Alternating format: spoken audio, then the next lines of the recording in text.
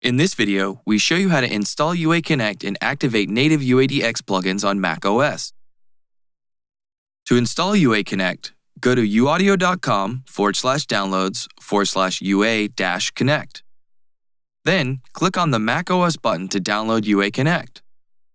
After the download is complete, open your Downloads folder and then double-click on the UA Connect DMG file. Accept the End User License Agreement, then drag the UA Connect app to the Applications folder to complete the installation. UADX plugins are licensed via iLok, and the iLok License Manager application is installed automatically with UA Connect. Make sure to enter your computer password when prompted to install iLok License Manager. After the installation is complete, UA Connect runs in the background. After you launch the app, when you use UADX plugins, or when you launch Luna so it can activate your audio effects and instruments when required. If UA Connect does not launch, open the Applications folder and double-click the UA Connect app. You can also open UA Connect from the macOS menu bar by clicking on the UA icon and selecting Open UA Connect. UA Connect updates automatically when a new version of the software is available. You will need to log into UA Connect with your UA account before you can download, install, or manage UADX plugins. If you already have a UA account, type in your email address and UA password, then click Login. If you don't have an account yet, click Create an Account. Enter your information, then click the Create an Account button. In addition to UA Connect, UADX plugins require an iLok account to manage software licenses for UADX plugins. If there's no iLok account linked to your UA account, you can either create a new iLok account or link an existing one. If you don't have an iLok account, click Create Account, and an account is created for you using the same email address as your UA account.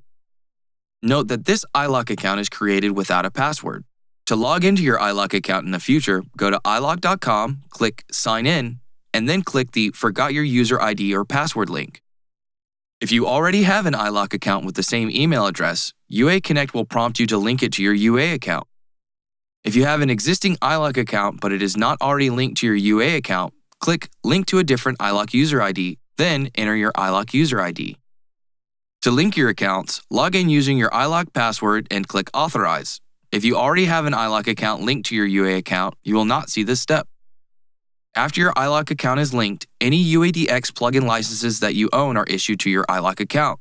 For more information about UADX licensing, please see our tutorial titled UAD Native and Spark Licensing Explained. If you have a UAD Spark license activated for your iLok user ID, click Get Started. The UADX plugins appear in this area and begin downloading automatically. If you have purchased UADX plugins from the UA store or an authorized retailer, click Redeem My Plugins and then follow the instructions in your web browser. If a UADX plugin doesn't download automatically, click its download button to install it. Ravel Grand Piano does not download automatically because it has specific storage requirements. Click Download next to Ravel Grand Piano or Download All at the top of the screen to download Ravel. Then choose the drive that you want Ravel's content to be installed on, then click Install.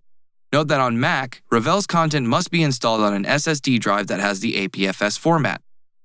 Next, click on Activate License next to any plugin. This will automatically start an iLok Cloud session and authorize your plugins. Your UADX plugins are now ready to be used in your DAW.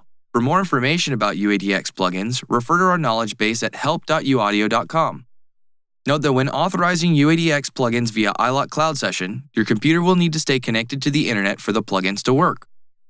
To learn how to use your UADX plugins when not connected to the internet, please see our tutorial How to Use UADX Plugins Offline.